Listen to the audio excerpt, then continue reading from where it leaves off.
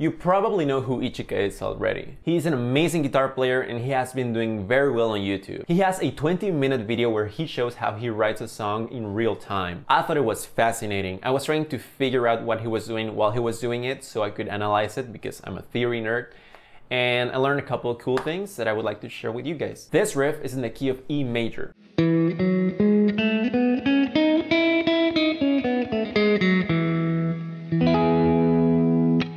First part goes something like this.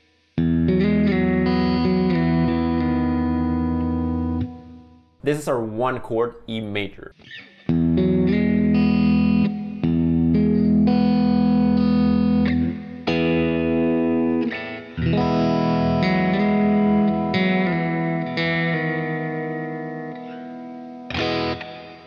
Then we have this.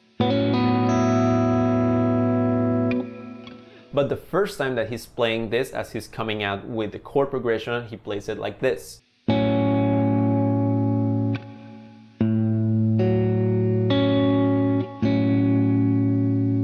This is a very nice voicing for a minor chord that I've never seen before.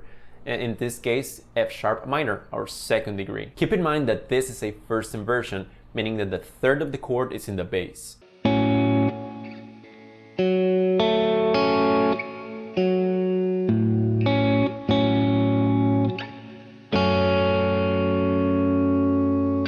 Now, this is my favorite part. As he's trying to come up with the chord progression, he plays this.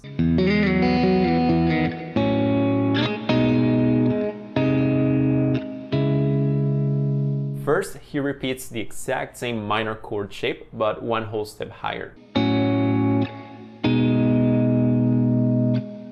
This is G sharp minor, our third degree chord.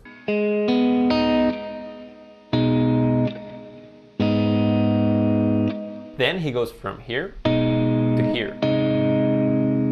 The only difference here is that we're taking the minor third and turning it into a major third. G sharp minor turns into G sharp major.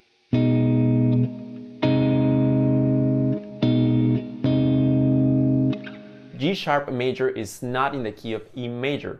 However, making the third degree a major chord turns it into the fifth degree of the relative minor. In this case, G sharp major wants to resolve to C sharp minor, and that's precisely our next chord.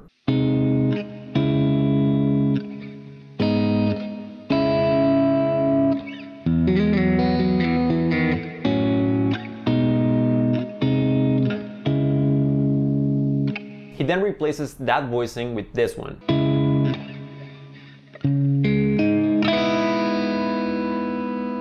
He ended up getting rid of the G sharp minor and he goes straight from the F sharp minor to the G sharp major.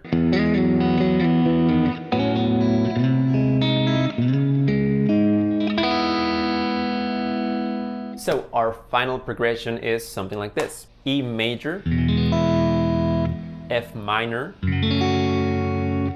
G sharp minor, and C sharp minor. Our degree numbers are 1, 2, 3 major, and 6. It has a very signature Ichika sound. It's very emotional. It's dramatic and unstable. It goes straight from the major scale to the minor in the first few bars. It gets sad really fast and now you can do it as well. And that's pretty much it. I hope you found this video helpful. If you have any questions, you can leave them down in the comments. And if you want to see more videos like this, you can subscribe so you don't miss anything. And that's it. Bye.